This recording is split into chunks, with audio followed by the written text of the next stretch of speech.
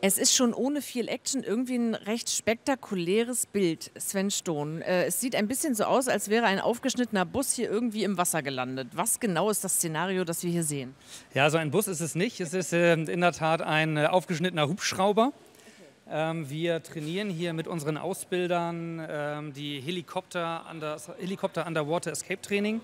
Ähm, das heißt, ähm, in verschiedenen Stufen ähm, lernen die äh, Probanden hier, wie sie sich einem, aus einem abgestürzten Hubschrauber im Notfall retten können. Da wird jetzt äh, laut gerufen. Moritz ist der Mann an Land sozusagen, äh, der hier äh, einmal zeigt oder, oder das, das, die Verbindung sozusagen hält. Jetzt sehen wir, es haben die Probanden, nämlich ihre Kollegen, Platz genommen. Ein, ein NDR-Tauchteam ist heute auch dabei, damit wir die spektakulären Bilder kriegen. Und das Szenario, was man sich dazu im Ernstfall vorstellen könnte, wäre ein Hubschrauber, der beispielsweise unterwegs ist zu einer ähm, Windkraftanlage? Bohrinsel, Windkraftanlage, genau. Also alle Menschen, die mit Hubschraubern zur Arbeit geflogen werden, was immer mehr sind. Das können, äh, wie gesagt, Menschen auf Bohrinseln sein, Windkraftanlagen, aber auch Behördenvertreter. Es können Lotsen sein.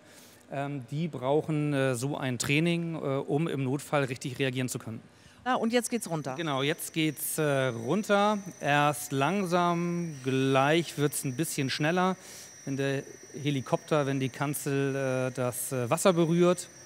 Und ähm, ah ja, okay, das ist schon flotter. Jetzt bereiten sich die Teilnehmer schon auf den Ausstieg vor. Hier in unserem Training halten sie gerade Luft an.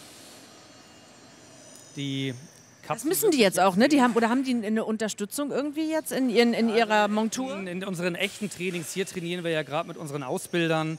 In den echten Trainings hätten die in der Tat äh, eine externe Atemversorgung. Spektakulär. Ähm, und dann geht es doch so wahnsinnig schnell. Ne? Herr Stohn, vielen Dank, dass wir diese Einblicke mal kriegen konnten. Die wenigsten von uns werden zu Ihren Kunden gehören, aber zumindest haben wir so mal einen Eindruck bekommen, den man als Privatmensch sonst nicht kriegen würde. Sehr gerne. Dankeschön, ich bin total geflasht.